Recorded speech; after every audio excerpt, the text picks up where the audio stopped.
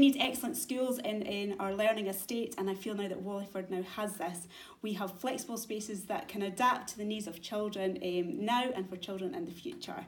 In the short space of time that we've been here, um, we have seen some of our most challenging pupils manage to engage in school every day and be part of their class, which is just fantastic.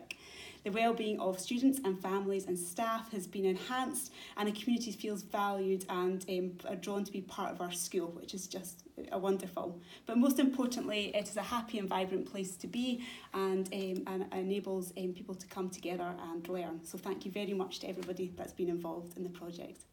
Our new school is so much better because it's got a lot, lot of more colours and it makes people a lot more happy. Our new school is a lot better because we've got um, it's very spacious and we've got more space to see if someone needs help and then we can help them. The new school has a lot more plants and natural light and it helps people's well-being. The new unisex toilets are far better than the old toilets in the old school because it makes me feel a lot more safe.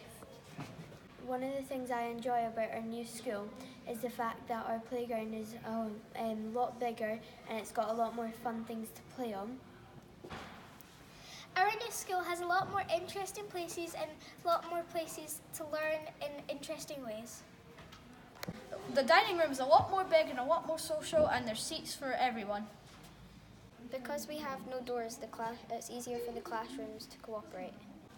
Thank you to everyone who has helped make this amazing school possible.